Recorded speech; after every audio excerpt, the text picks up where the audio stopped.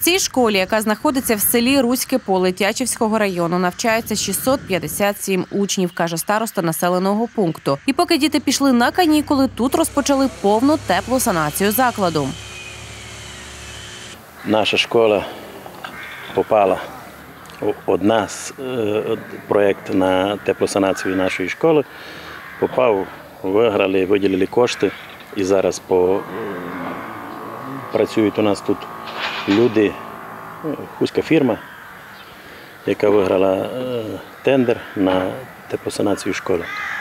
Утеплювати збираються зовнішні стіни та планують замінити усі батареї. Необхідність максимально утеплити приміщення була неабияка, каже пан Василь. Не знаю, як то робилося раніше. У нас тут є е, три види опалення, то, яке є, маю в виду е, батарей. Якщо було так, що унизу, де йшла повна подача, де ближе до кочегарки, там було у класах тепло. А брати оцей самий крайній, бо з тої сторони йде подача. Якщо брати ці самі крайні класи з цієї сторони, не можна було дотопити.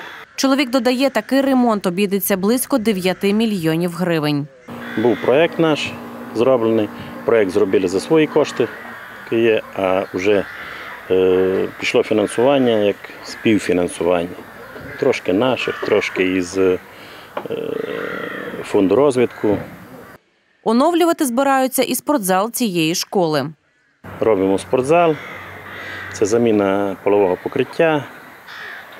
Е, В роздівалках е, дівоча і е, хлопчача душові, туалет, ну все як раніше воно десь колись було.